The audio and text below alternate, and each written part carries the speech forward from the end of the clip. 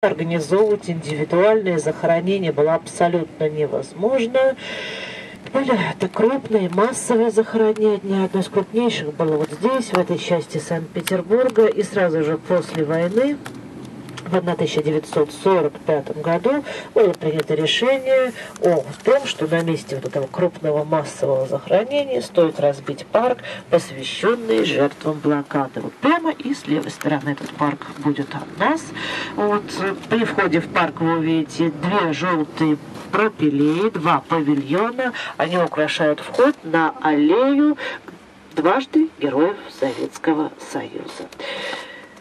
And heading to the left side, you will see garden, Moscow Victory Garden. It's very sad place for the people of our city.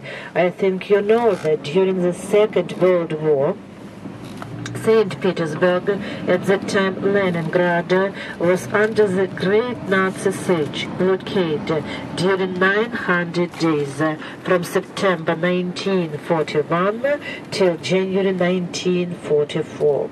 It was so difficult time. All that 900 days our city was under the great artillery shelling.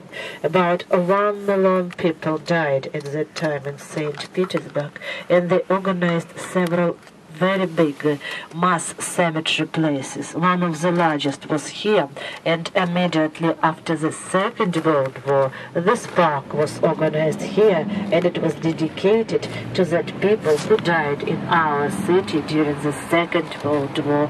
Moscow, Victory Garden, it's to the left side. Ну вот мы с вами подъехали к Московскому парку Победы.